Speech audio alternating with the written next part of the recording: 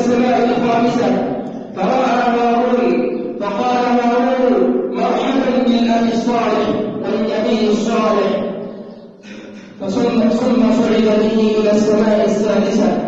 فرأى موسى عليه السلام فسلم عليه ورد عليه موسى فقال مرحبا بالأبي الصالح والنبي الصالح. فلما